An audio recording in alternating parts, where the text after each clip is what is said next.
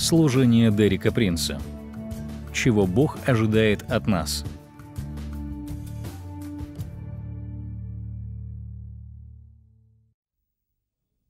У меня есть еще один пример. Я приводил его в Москве. О слове «оправдать». Оно звучит как богословский термин. Люди говорят, «Я оправдан по вере», но они не знают, что это значит на самом деле. Это значит, что вас оправдали, нашли невиновным, признали праведным и сделали праведным. Я тогда приводил небольшую иллюстрацию. Выйди сюда, пожалуйста, дорогая. Тогда я изобразил мужчину на суде, которого за его преступление точно ждала смертная казнь. Он сидел там и ждал, когда судья вынесет приговор. А судья сказал «невиновен». Я сказал, что его встречу с женой после суда нельзя было назвать просто приятной — я уверен, она была очень эмоциональной. Дорогая, я не должен умирать. Я свободен.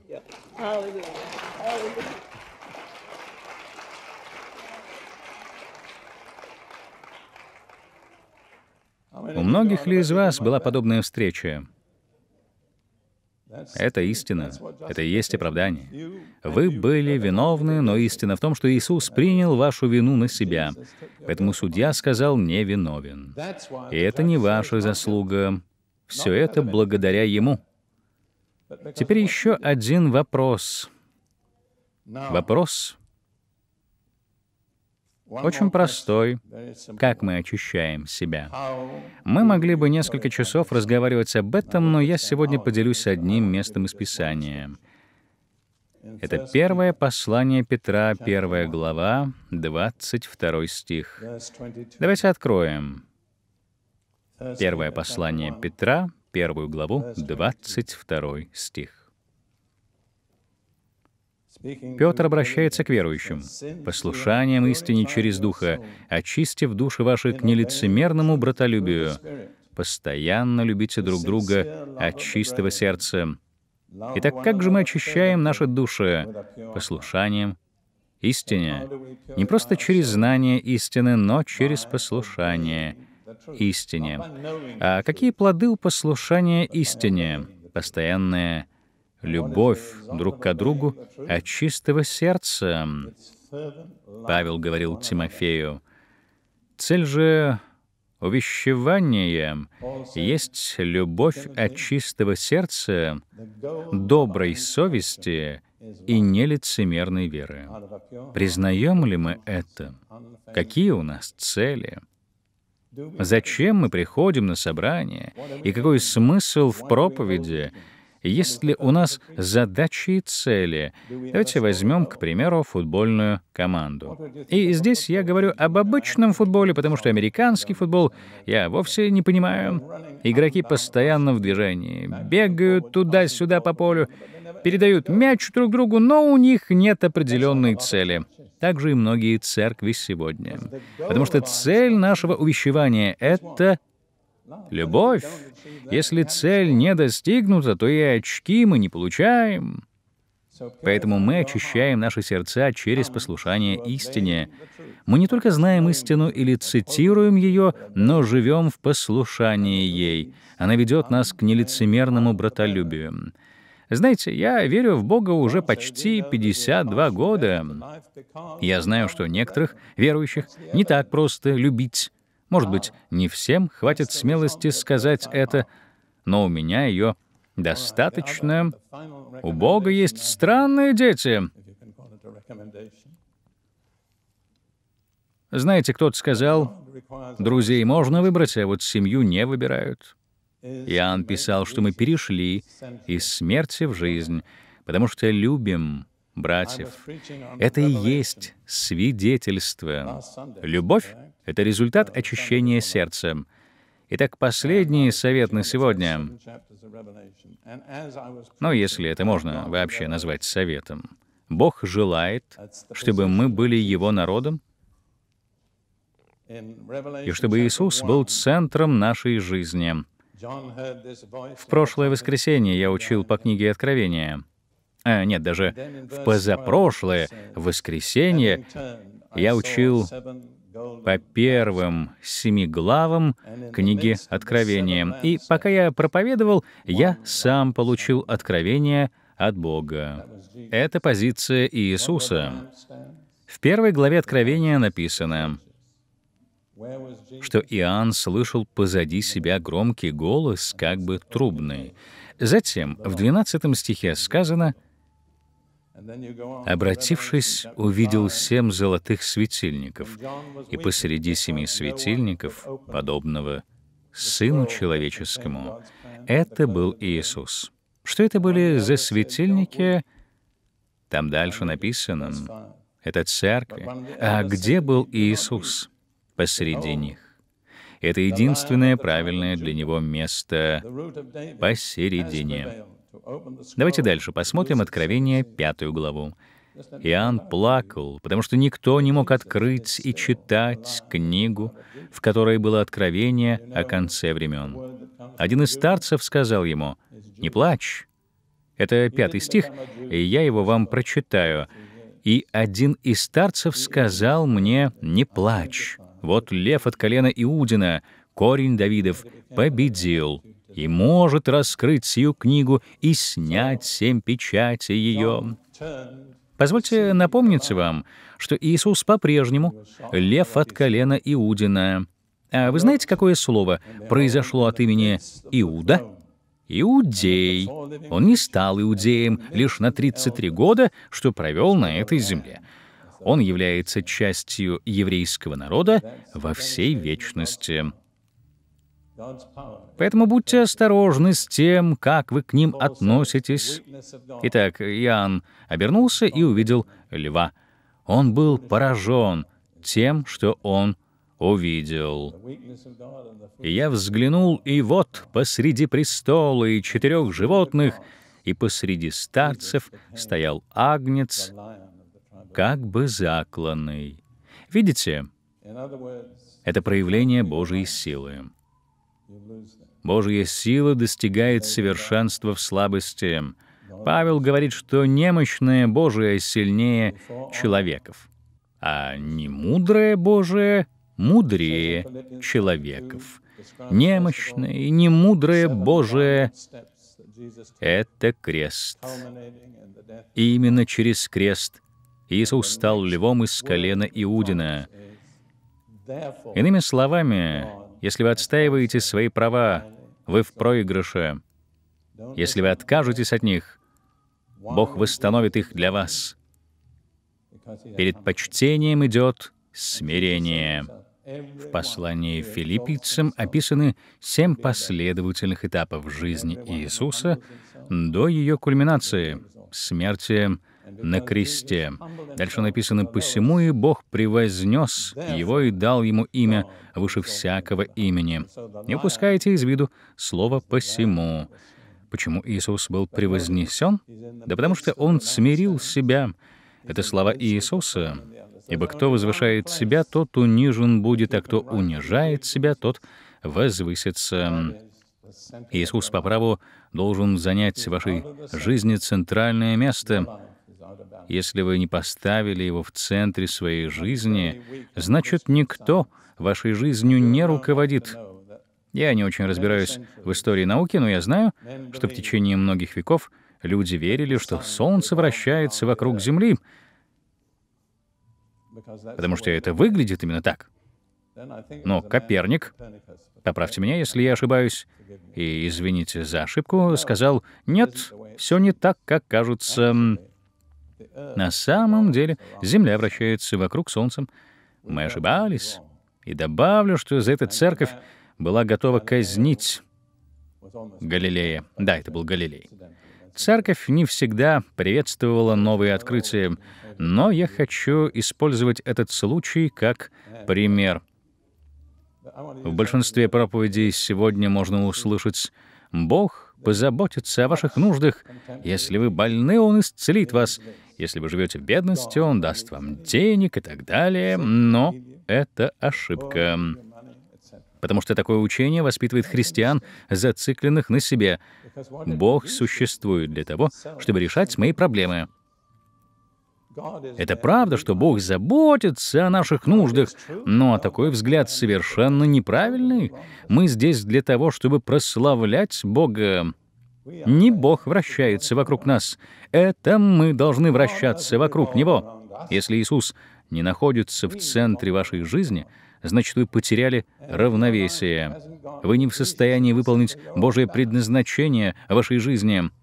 Если сегодня здесь есть те, кто не могут честно сказать, что Иисус является центром их жизни, мне очень вас жаль. Если вы не можете сказать, «Моя жизнь вращается вокруг Него и никого больше», Он важнее, чем мой муж, моя жена, мои дети, работа, финансы. Для меня Иисус — центр жизни, то в вашей жизни нет равновесия.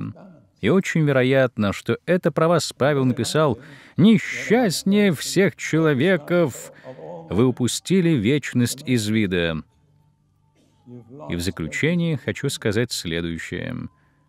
Очень красивые слова. В Откровении пятой главе, немного дальше того места, которое мы читали, в девятом стихе старцы, если я помню правильно, это были именно они, поют новую песнь Агнцу, говоря, «Достоин ты взять книгу и снять с нее печати, ибо ты был заклан, и кровью своей искупил нас Богу из всякого колена языка, народа и племени, и соделал нас царями и священниками Богу нашему» и мы будем царствовать на земле. Обратите внимание, что искупление дано людям из всякого колена и языка, народа и племени. Поэтому среди искупленных людей будут представители из каждого колена и языка, народа и племени. Вот одна из причин, по которой я от всего сердца поддерживаю миссию переводчиков Библии Уиклиф, потому что их цель перевести Библию на языки всех народов.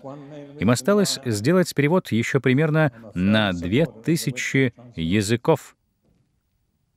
Вы знали об этом? В мире есть еще две тысячи языков, на которые не переведено Священное Писание. Я не работаю с ними, но поддерживаю их служение, потому что они серьезно относятся к Богу. На небесах обязательно должны быть представители из всякого колена и языка, народа и племени. Пока я готовился к проповеди, я думал о том, как объяснить разницу между народом и племенем. Позвольте привести такой интересный пример. Ассирийцы. Они сейчас не живут на прежней территории Ассирии, потому что ее захватил Саддам Хусейн, который никакого отношения к ней не имеет.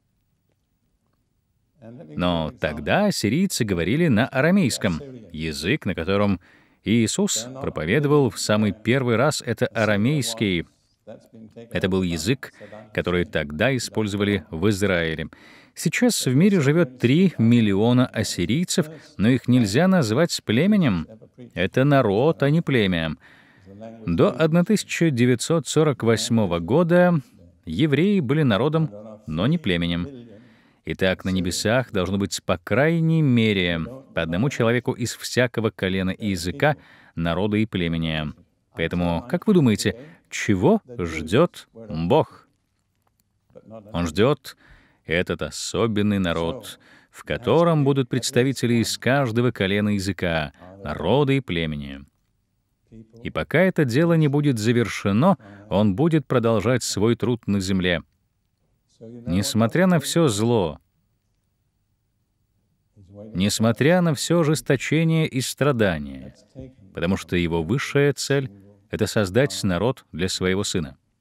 Благодаря тому, что Иисус отдал свою жизнь за каждого мужчину, женщину, ребенка, перед его троном будет, по крайней мере, по одному человеку из всех, искупленных им из любой группы или сообщества, на которые можно разделить человечество.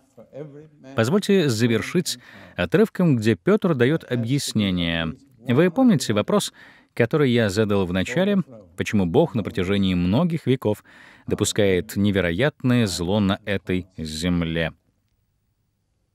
Иногда ночью ко мне приходят разные откровения. Однажды я смог глубоко прочувствовать, что такое зло. Не какой-то определенный злой поступок, а более глобальное, определенное присутствие злой силы. Ее мощь подавляла меня. Я осознал, что этот мир именно такой. Но у меня есть одно лекарство — которым я хочу поделиться и с вами. Когда я осознал все это, я сказал, «Слава Богу, что я во Христе. Каким бы ни было это зло вокруг, я во Христе». Хотя в тот момент острое осознание зла в нашем мире чуть не сломило меня. Его не станет меньше, наоборот, оно будет расти. Так почему же Бог медлит? Петр пишет во втором послании, 3 главе, 9 стихе, «Не медлит Господь исполнением обетования, как некоторые почитают то медленнее, но долготерпит нас, не желая, чтобы кто погиб, но чтобы все пришли к покаянию. Так чего же ждет Бог? А ждет Он избранных, тех, кого Он избрал, из каждого колена и языка, народа и племени. И пока не будет, по крайней мере, по одному представителю из всех этих групп, конец мира не наступит.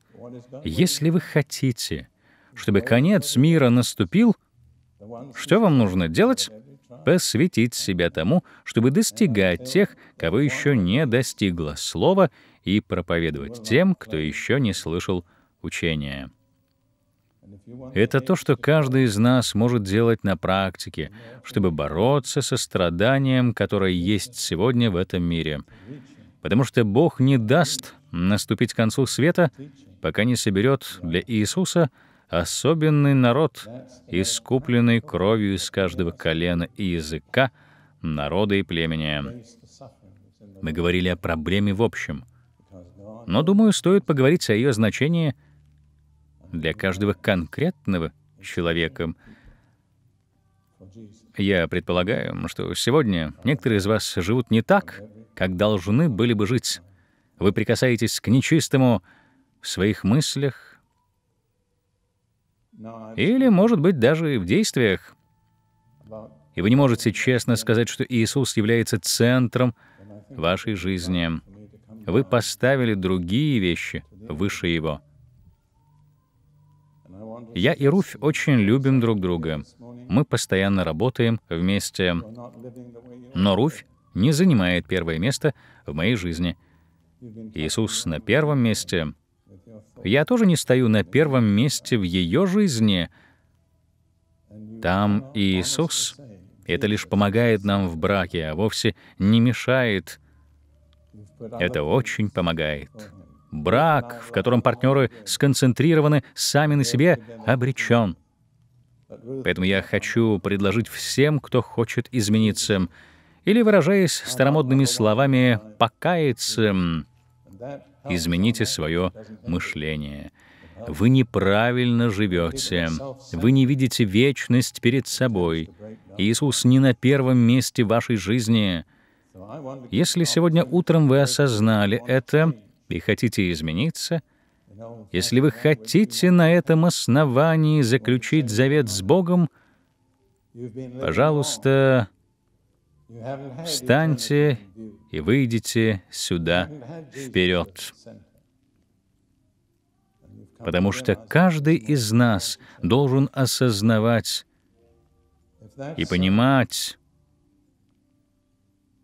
что эта жизнь принадлежит вовсе не нам, а Господу, который искупил нас своей драгоценной кровью и жизнью.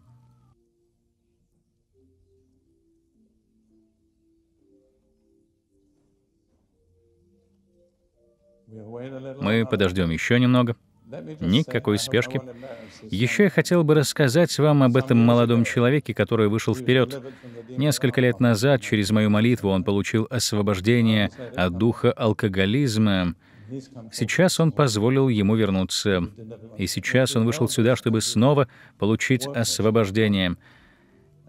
Хочу попросить старейшин и служителей подойти сюда. Будьте готовы. Я думаю, что нам следует помолиться за некоторых из этих людей.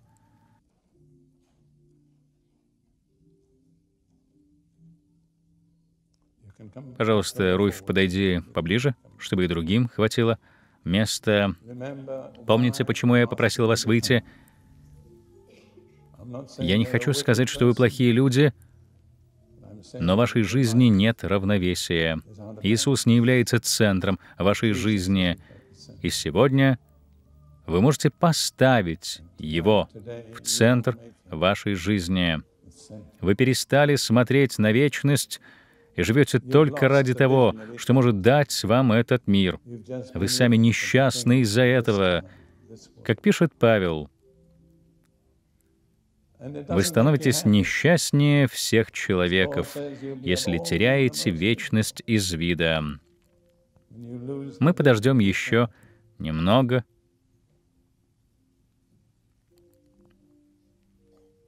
Потому что есть те, кому необходимо выйти сюда. Нет никакой разницы, если даже вы находитесь в конце зала. Это несложно — сделать всего несколько шагов.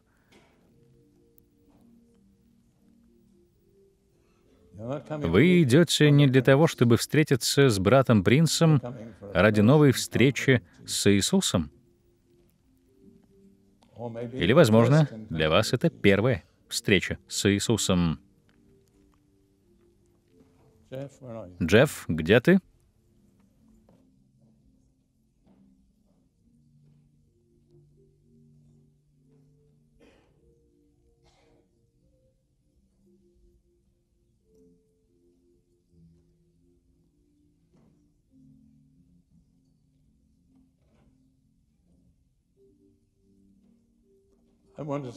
Хочу сказать, что здесь есть христиане, которые верят уже давно, но ваше христианство уже утратило свежесть. Его нужно восстановить. Я мог бы уже начать. Но знаю, что есть еще кому выйти сюда. Я говорю о людях, которые являются христианами уже 20-30 лет, но вы утратили первую любовь. Вы помните, что Господь сказал Филадельфийской церкви, «Покайся, вспомни, откуда ты пал». Это большая ошибка — потерять свою первую любовь, и ее можно исправить только покаянием.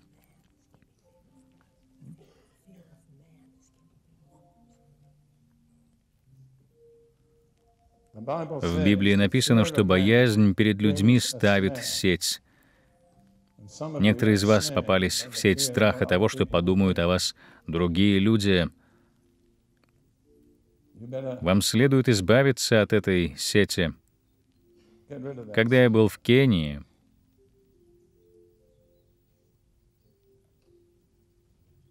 африканцы делали силки для птиц в виде петли из травы, которую они оставляли там, где должна была пробежать птица. Когда птица попадала в эту петлю, она затягивалась у нее на шее. В такую же ловушку попались некоторые из вас. Из-за петли на шее вы боитесь говорить, свидетельствовать, говорить при людях о своей вере в Бога. Вы не рассказываете о своей вере даже членам своей семье, даже им.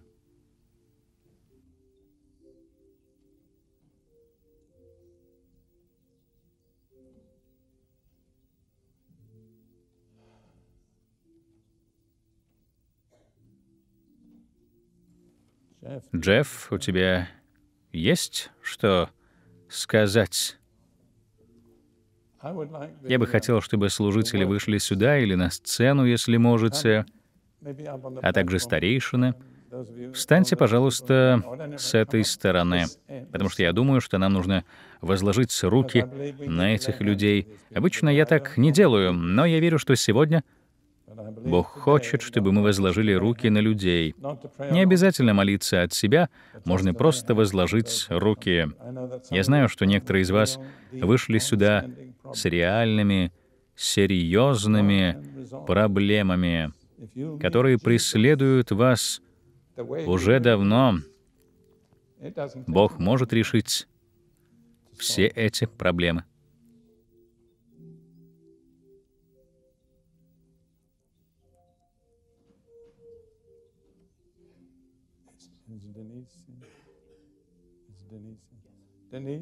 Денис, не могла бы ты подойти сюда, пожалуйста?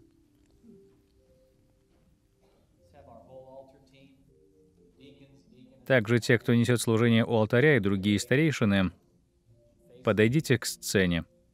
Пожалуйста, все сюда. Вы можете встать лицом к этим людям.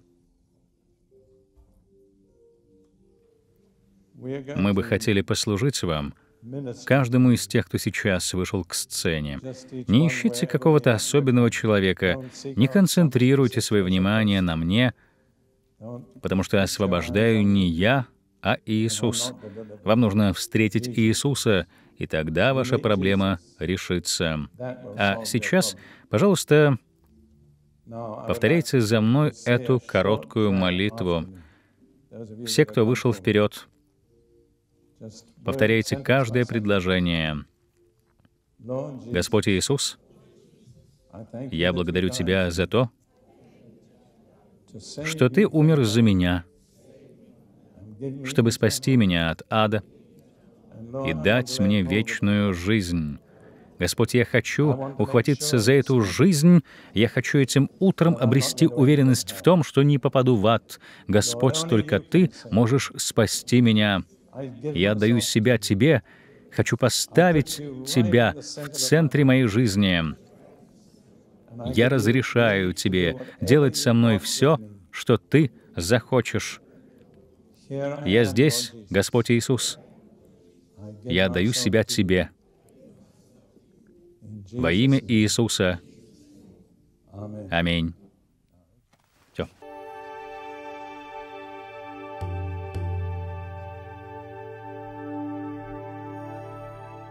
Если вы желаете получить информацию о дальнейших учениях и ресурсах, доступных в нашем служении в Великобритании, свяжитесь с нами и закажите новый гид по ресурсам нашего служения. Позвоните нам или посетите наш сайт www.dpmuk.org. Также вы можете написать нам по адресу, который вы видите на экране. Мы вам рады.